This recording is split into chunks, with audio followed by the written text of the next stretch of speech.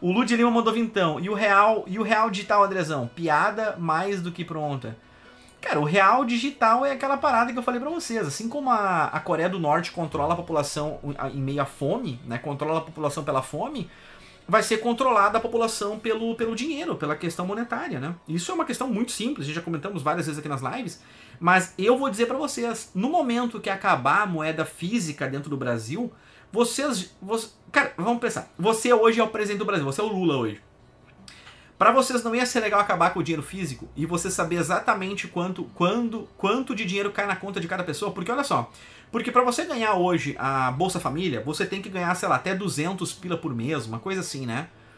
Galera, muita gente que recebe o Bolsa Família hoje, recebe o Bolsa Família, trabalha por fora fazendo outras coisas uh, uh, ilegais, né? Fazendo coisas aí uh, por fora, né, trabalhando frio, o que eu acho normal, acho que vocês têm que fazer isso mesmo, trabalhar frio e tudo mais, sem carteira assinada nem nada.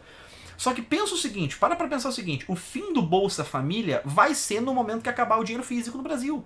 E o dinheiro físico no Brasil é para acabar, não apenas no Brasil, mas no mundo todo, o dinheiro, segundo o World Economic Forum, a ideia deles é acabar com o dinheiro físico até 2030.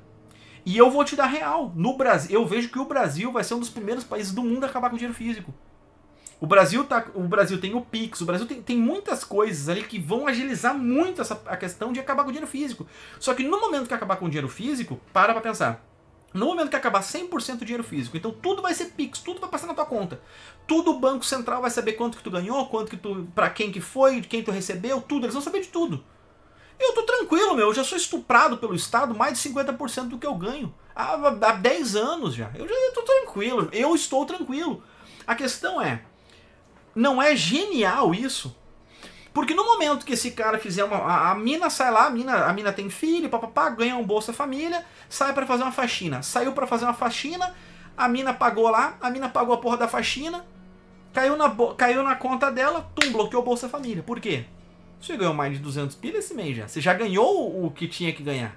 De onde é que tá entrando esse dinheiro? Para você ganhar o Bolsa Família, você tem que ganhar menos.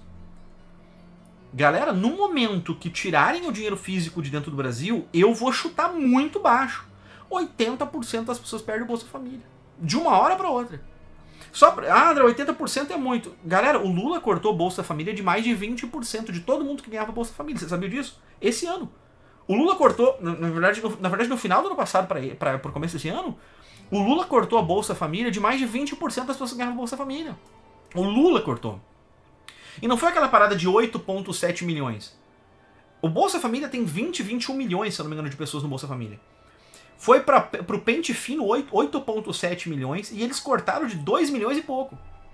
Já 2,7, 2,8 milhões, uma coisa assim. Foi praticamente foi 20, foi 20%, se eu não me engano, das pessoas perderam já o Bolsa Família.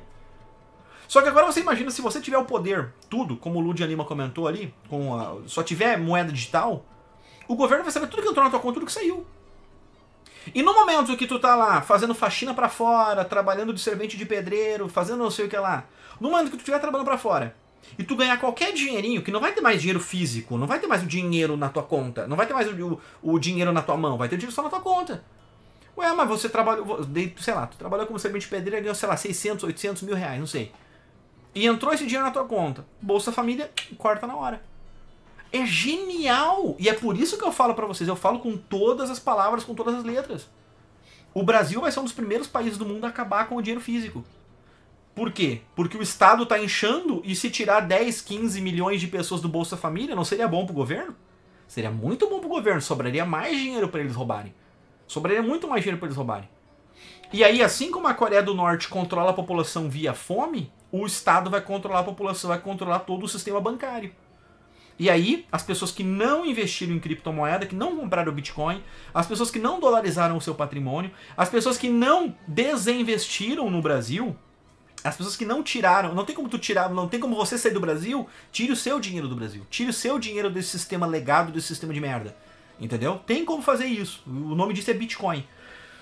Nossa, eu tô virando o Amoedo, né, irmão? Eu tô virando o Amoedo, irmão. Eu tô virando o Renato Amoedo, cara.